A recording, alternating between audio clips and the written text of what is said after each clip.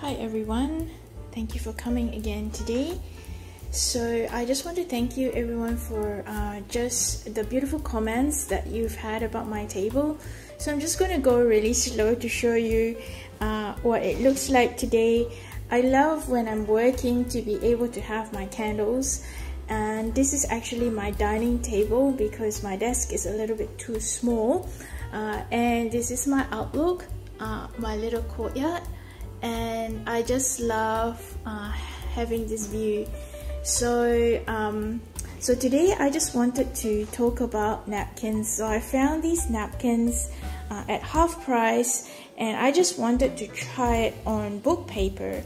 So um, as you can see uh, this is one this is one that I have actually tried.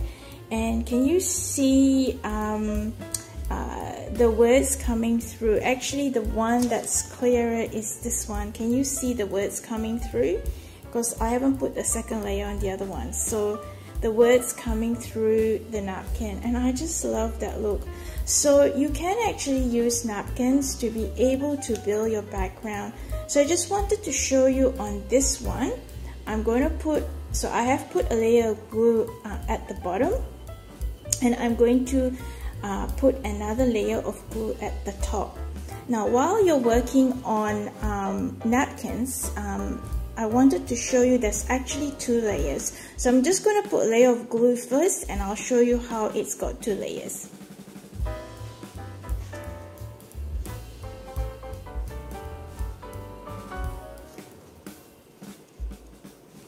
So you're just gonna brush through right through and cover the entire as you can see this part here is starting to be more translucent than this part here the words are coming through um, and the glue that I've used is just an Elmer glue which is a cool glue and I've diluted it with a little bit of water.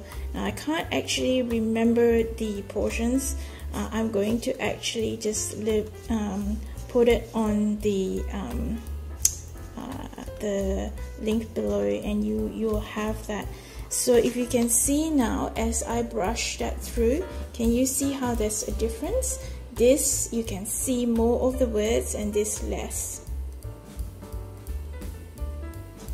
and I've done all of it and as you can see it's coming through and of course uh, we need to let it dry and once it's dry you can actually use this as, as a background page. And this is just a small book page that I've used so you can cut your uh, napkin to size. I'll show you now the two layers. So this is another one that I purchased and as you open up your tissue you'll be able to find that there is two layers now if you glue the entire two layers together without separating them onto the book page what will happen is the top layer will come will, will not stick properly and then you'll have it coming out and coming apart. So you have to take this back layer off like that and you are only using this layer. So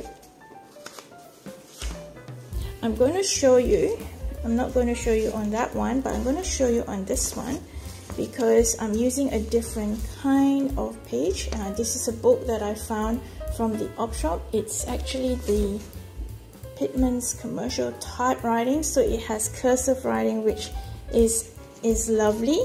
And I'm going to actually um, do so I'm going to show you how I put the glue on and then put the, um, the tissue on. So that's my glue. I'm just going to generously put it on this page.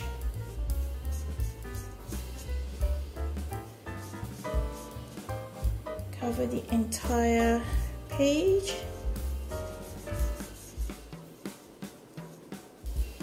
And I'm just going to grab that and I'm just going to place it in the middle like that. Now I am going to cover the entire page with glue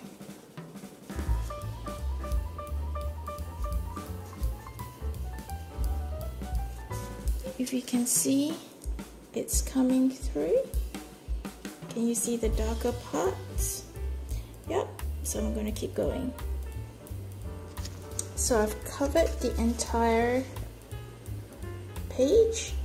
Now I won't worry so much about how it's bubbling up or it's creasing.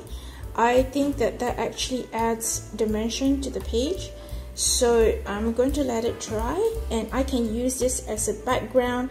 I can cut it up and use bits and pieces of it corners of it. Uh, you if you have a cutter you can obviously just uh, use your cutter to cut it into different shapes. Uh, you know if you if you have a heart shape you can certainly do that or just make your own. Uh, but this is a good way to do a background.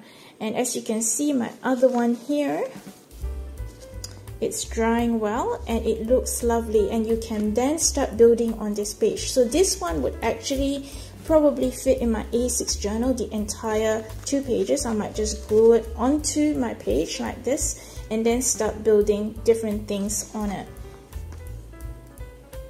The other way you could do it is have a look at this. Um, so this was a tissue. Let me just grab it or rather napkin like this. And I've taken the back off. And so what I've done is I just instead of putting the whole thing on the page I decided to just have different strips of it or bits of it. So and I've just glued those things those parts. And because this has a lot a darker uh, pattern I'm not particularly worried about um, uh, the words coming through. Uh, I just like that pattern and what I might do is either uh, go ahead and use paint these parts and I haven't really decided. Uh, so yeah, I'll show it to you later but I just wanted to show you the difference of uh, how I've used this and then the other way is obviously to cut it up or put the whole entire tissue on it like this one and these are all I've just cut up only pieces of it. And then I might use the page and work around it. So as you can see there's different ways of using napkin or yeah it's a it's a napkin really. It's not a tissue but it feels like a tissue. So anyway uh, uh, thank you guys for watching. I just wanted to show you uh, the process and let's see how it goes when it actually fills my journal see you again uh, another time in my next video. Bye